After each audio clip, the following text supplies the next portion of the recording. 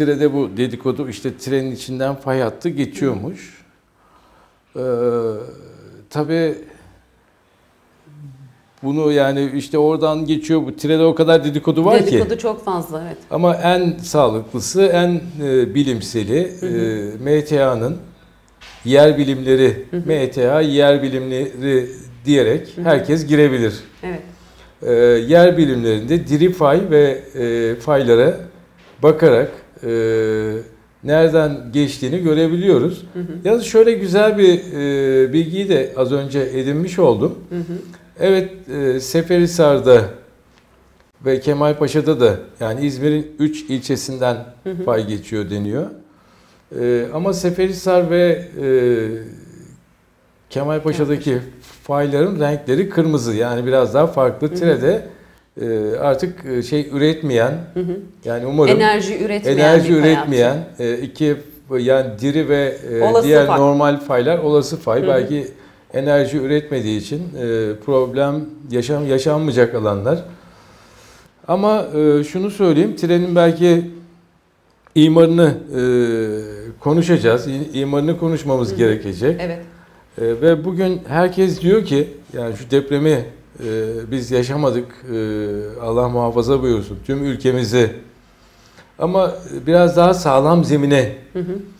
e, eski şehirlerin kurulumunda yani trenin öyledir. Mesela Ödemiş'in bilgisi öyledir. Hı hı.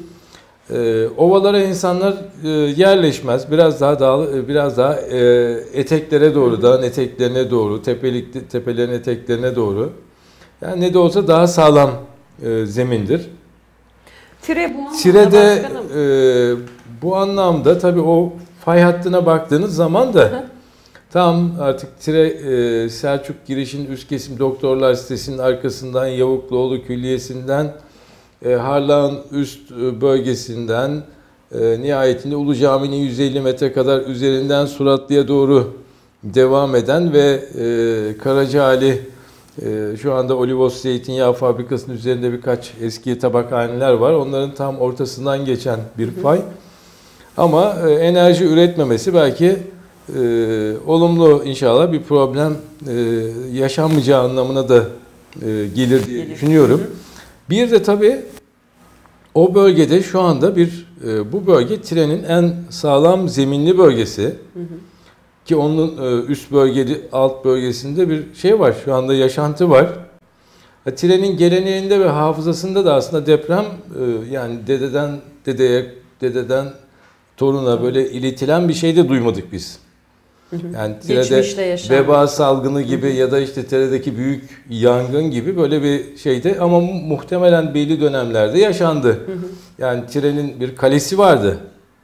Nerede? Yok.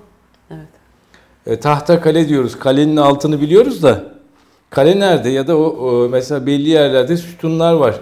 O sütunlar ne oldu da yerin altına girdi? E, belli yerlerde sütun başları çıkıyor. Sütunlar